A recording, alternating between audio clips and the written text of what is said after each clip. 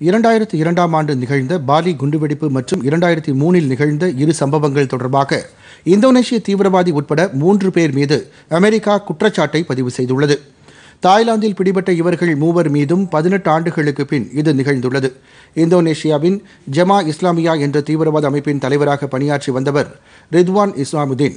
எஞ்சிய இருவர் முகமது நசீர் பின் லெப் மற்றும் முகமது ஃபாரிக் பின் அமின் என்றும் இவர்கள் மலேசிய நாட்டு பிரஜைகள் என்றும் தெரிவிக்கப்பட்டுள்ளது. இவர்கள் அல் கைதா தீவிரவாத இயக்கத்தில் பயிற்சி பெற்றவர்கள் என்றும் தெரியவந்துள்ளது. இவர்கள் மீது சதித்திட்டம் தீட்டுதல் கொலை தீவிரவாதம் சொத்துக்கள் சேதம் உள்ளிட்ட ஒன்பது பிரிவுகளின் கீழ் குற்றம் சுமத்தப்பட்டுள்ளது. கடந்த இரண்டாயிரத்தி இரண்டாம் ஆண்டு அக்டோபர் பனிரெண்டாம் தேதி பாலியில் சர்வதேச தீவிரவாத அமைப்பான அல் கொய்தா உதவியுடன் நிகழ்த்தப்பட்ட மிகப்பெரிய குண்டுவெடிப்பு தாக்குதலில் இருநூற்று இரண்டு பேர் கொல்லப்பட்டிருந்தனர். இதேபோல் இரண்டாயிரத்து மூன்றாம் ஆண்டு ஜகார்த்தாவில் உள்ள ஜே டபிள்யூ மேரியட் ஹோட்டலில் நிகழ்ந்த தாக்குதலில் பனிரெண்டு பேர் பலியாகியிருந்தனர்.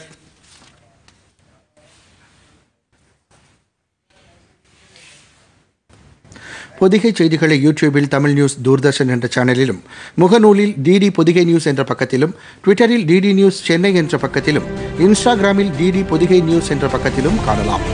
மேலும் உங்கள் கருத்துக்களை Podhigai DD news at gmail dot com என்ற மின்னஞ்சலிலும் தெரிவிக்கலாம்.